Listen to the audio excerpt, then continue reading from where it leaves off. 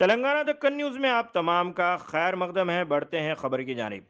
Deputy speaker T Padma Rao की खसूसी दिलचस्पी के नतीजे में स्ट्रीट नंबर आठ और व्हाइट हाउस के करीब सड़क का काम सैंक्शन हुआ है।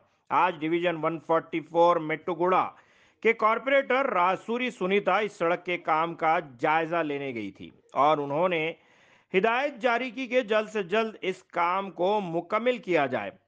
आज उनके दौरे के मौके पर G H M C E Ashalata madam और ए ई श्रीधर गारू व दीगर मौजूद थे। आलमी मुल्की रियासती मुकामी खबरों के लिए देखते रहिए आपका अपना चैनल तेलंगाना दक्कन न्यूज़।